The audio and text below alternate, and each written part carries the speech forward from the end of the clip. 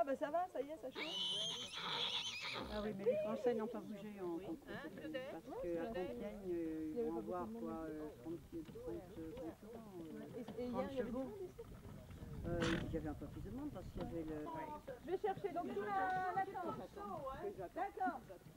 Je passe que en travail. Je fais que en travail.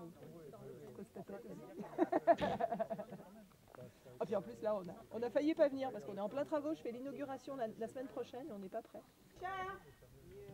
Il est bientôt prêt, Permichon